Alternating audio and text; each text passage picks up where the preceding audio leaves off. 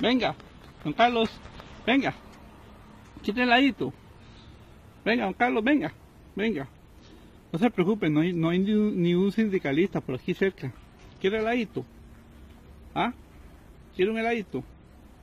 Vea, don Carlos, la gente eh, ya está, está un poco desanimada con ese asuntito del plan fiscal. Es que usted no hace caso, señor presidente. Se le dice que escucha al pueblo y usted no escucha al pueblo. ¿No lo escucha usted? No, no, hay que escuchar al pueblo, señor presidente. Ya que los costarricenses lo eligieron a usted para que usted dirigiera esta nación. No sea burro, yo. Haga caso, yo le voy a dar heladito, pero hace caso. yo? Haga caso, señor presidente. Sí, sí, sí.